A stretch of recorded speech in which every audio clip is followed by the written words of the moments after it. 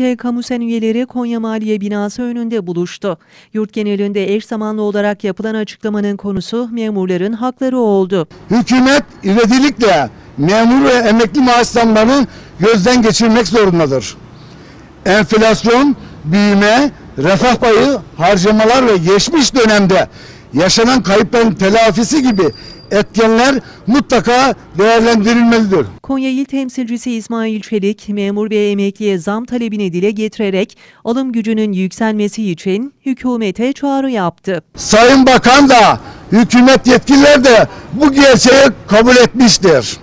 Öyleyse gelin çok geç olmadan memurun ve emeklinin bütçesindeki bu yangını ek zam ve refah payı uygulaması ile söndürün.